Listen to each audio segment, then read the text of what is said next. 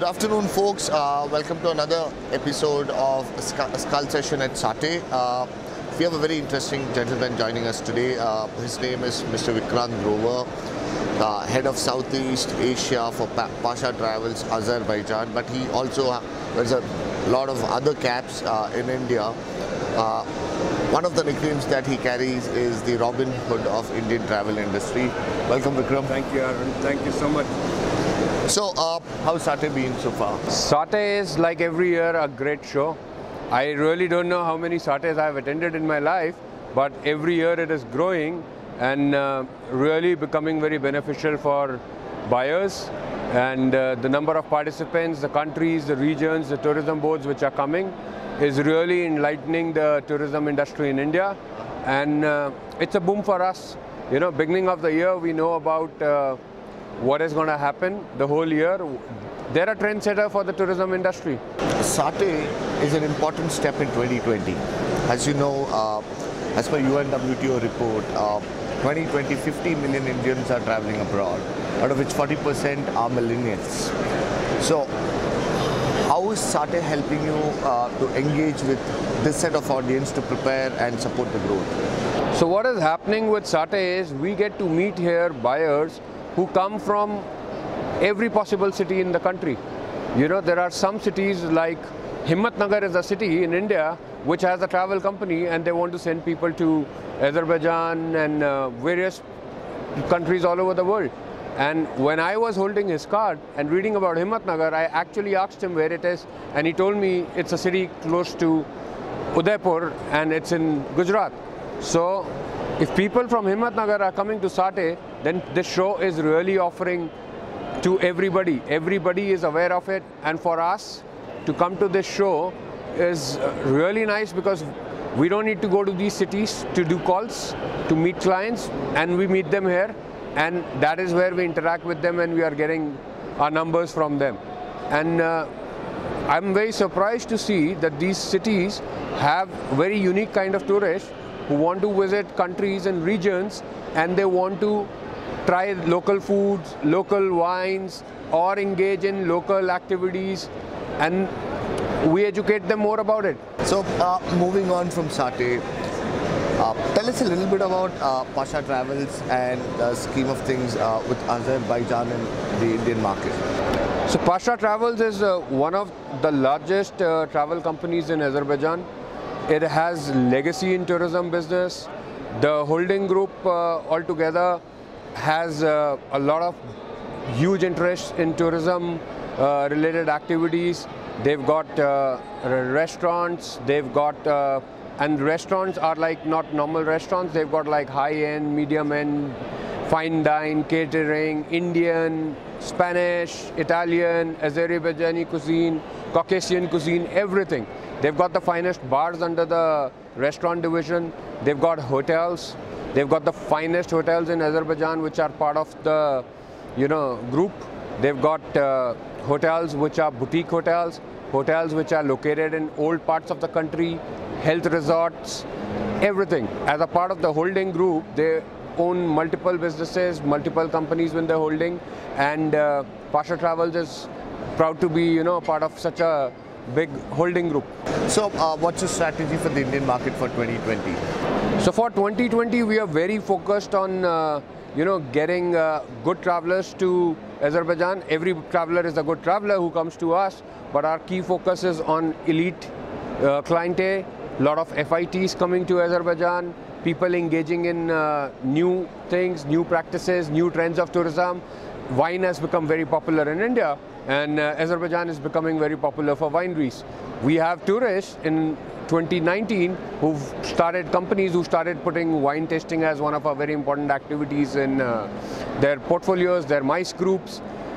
Azerbaijani food is becoming very popular, the culture is becoming very popular. There are newer destinations where people want to travel to apart from Baku, which is the capital city. Everything is attracting tourists, and uh, we are here, you know, with a strategy to attract Indian weddings, Indian social events. We are inviting them to come to see, you know, how they can come and uh, mix with the culture there. Yes, and you know, it is uh, it, it's an old uh, Silk Route uh, city, so we've got a lot of history with India. Azerbaijan has a lot of history with India. That is how I entangle very well. They have a Hindu temple, which is a fire temple, and fire is very important for Indians as a worshipping, you know, mode also. So one of the things, audience, uh, people often say in the industry that Vikrant is physically present here. His heart is always in Azerbaijan. So can you put some light on that? Yeah, you know, I uh, love the country Azerbaijan, and uh, it is right that I am physically present here and my heart is there, and uh, it's it's it's very unique. I've traveled to more than 85 countries in the world, but uh, Azerbaijan really stole my heart, and uh, that is the reason that it keeps pulling me back every month and month to come back to the country. The food is very nice, the people are very nice you know, and uh, the overall feel of infrastructure, the hotels, is very, very modern, very European, very American.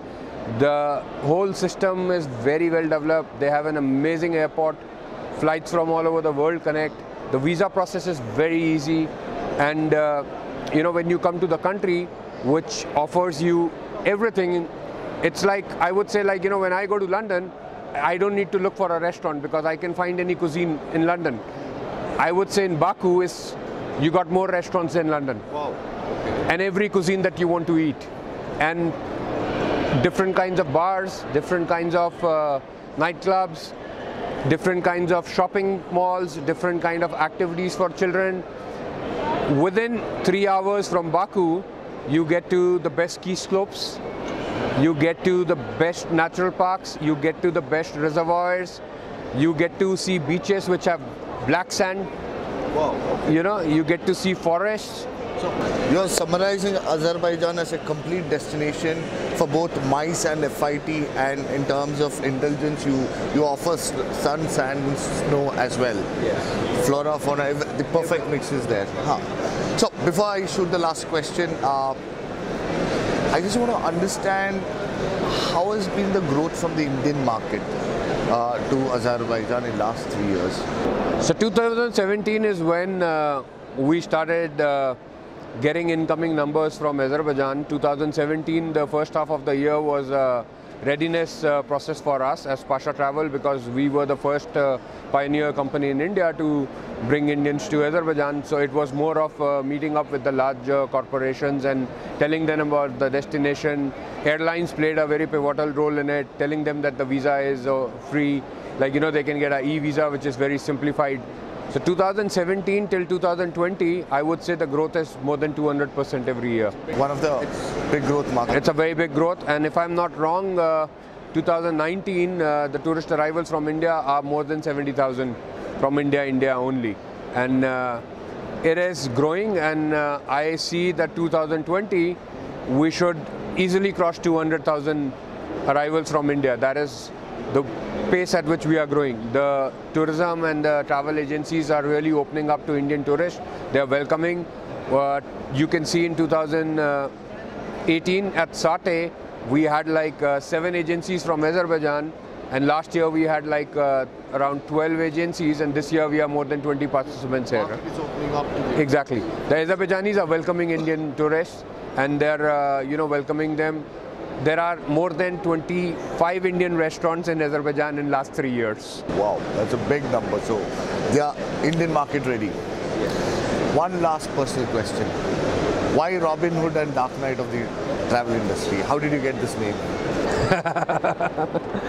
so Arun, you know me for uh, quite some time and uh, you know, people uh, have different opinions about me as an individual because I'm a very straightforward person.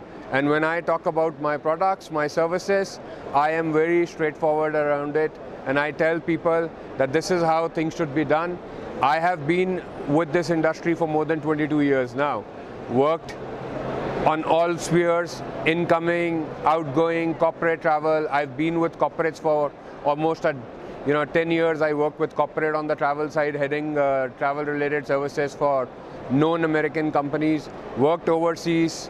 So I'm very straightforward in my approach and that is how I like to keep it and that is how I like to be addressed. I, dark night. Is dark? there something with the word dark? And the night. Well, dark nights. K-N-I-G-H-T. Dark nights is because you know I love nights, I'm a very night person. You know, I totally change in the night, and uh, I like to, you know, explore a lot during the nights. Wherever I'm traveling to, I like to go to the most local places at night, and you know, I would go to restaurants which are located next to bus stands and you know airports and see how drivers are eating and what kind of discussions they are having go to bars which are like you know very small bars I get the name now, Dark Night. That fits in well. It was fun having you. Thank you, you very much. always fun to be around All the best for 2020. thank you